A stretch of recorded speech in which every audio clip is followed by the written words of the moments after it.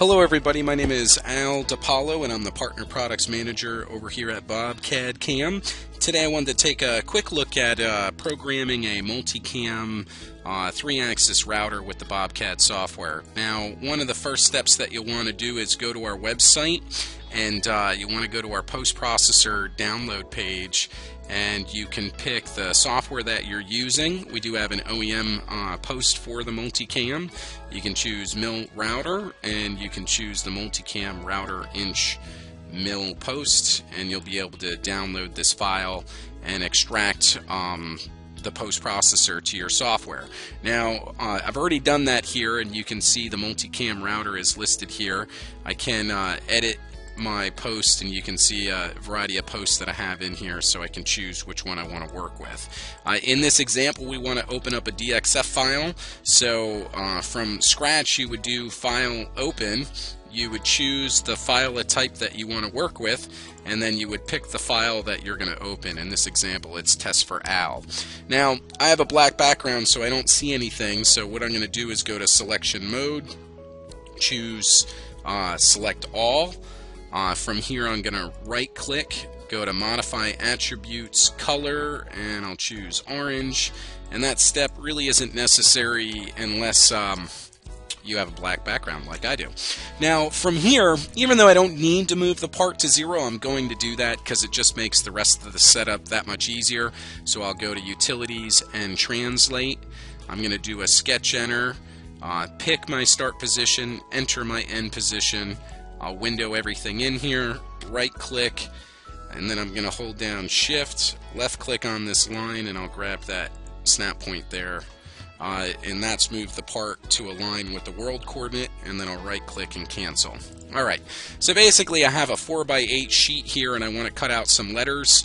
Um, the next step I'm going to do is run the stock wizard. So I'll click on the cam tree, I'll go to milling stock, right click, I will load the stock wizard, rectangular stock, and what that's going to do is just put a box around the part.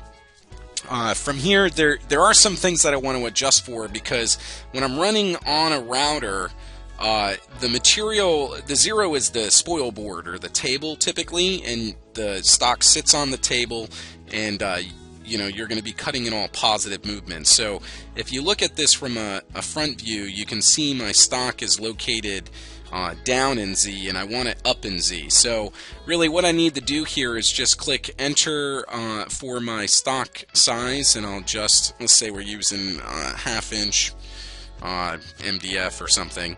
Uh, so I'm going to adjust for the thickness of my material. So now you can see it's a half inch, but uh, it's still going down in Z. So what I want to do is adjust my stock orientation. I'm going to click on enter and I'm going to say the stock starts at this value. This value is going to be a half inch. So now you can see I've set my origin at a half inch for the stock and it's going to go a half inch down. Really complicated way to explain it, but basically I'm setting my material a half inch up in Z uh, for my stock. Alright, the next thing uh, that I want to do now that, now that I have my stock set up is I want to set where my origin is. Uh, because I move the part to zero, what I can do is pick from existing, uh, existing UCS or user coordinate system and I'll just pick the top uh, XY. Alright. Alright, now we have our stock set up and we have our um, uh, origin set up. I will want to choose my uh, post processor again because I haven't defaulted that yet. So we'll go ahead and choose our multicam post processor. The next thing that we uh, are going to want to do is to load in some toolpaths. So, um, what do you do? Well, you right click on machine setup and you go to all your different toolpath options. In this case, we're going to choose mill two axis. Uh, we're going to do a profile cut. We'll go ahead and choose next.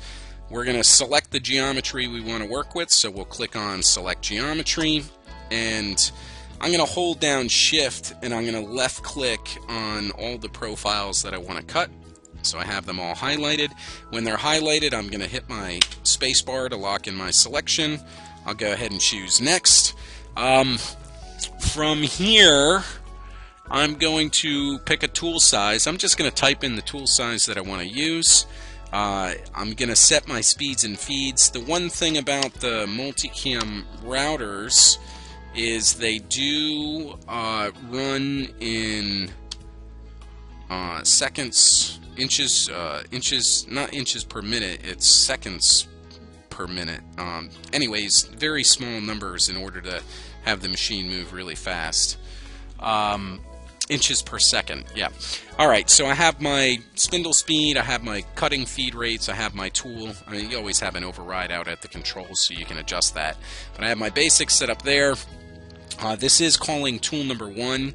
Uh, you may have uh, a tool changer or not, uh, so that may or may not matter for tool offsets. Uh, you can always adjust your tool number later uh, before you post.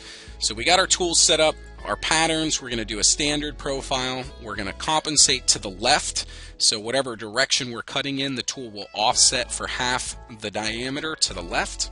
Our parameters, we're going to say this is going to go a half inch deep. I'm going to take this in multiple passes and I'm going to do define depths and I'm going to set my depths to 2.45 so I'm going to get two passes at that amount and then the last pass will be whatever's left over. This concept is basically uh, an onion skin concept and of course you can always adjust the values there. No stock for finish. I do want to use a lead in and lead out. Um, I am going to add, uh, well, you could add an overlap, uh, overlap so it goes past the start point, but I won't worry about that. Uh, quarter inch is fine. All right, all of this is set up, so I have a rough tool. I do have the ability to call a finish tool, but I didn't leave any stock for finish, so it's not calling one. Everything is fine here. So let's go ahead and choose finish. Uh, the last step that I really want to take is I want to um, edit my start points where the tool is going to start cutting from. So I'm going to go to start point, right click and modify. I'll go ahead and um, pick on this corner here and I'll set my direction.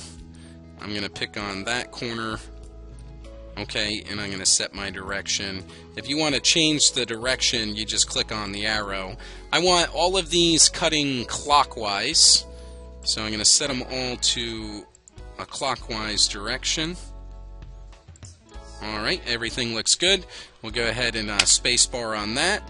Then we'll go to Profile, right click, and then Compute.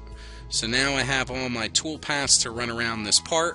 Uh, if I did want to run, uh, pull this up in a simulation, I can go to uh, Mill Simulation. This will give me a preview of the um, setup. I have a machine simulation in the multi-axis. Um, this is a mill, not a router, so it looks kind of weird, but I'll just put it on workpiece focus here.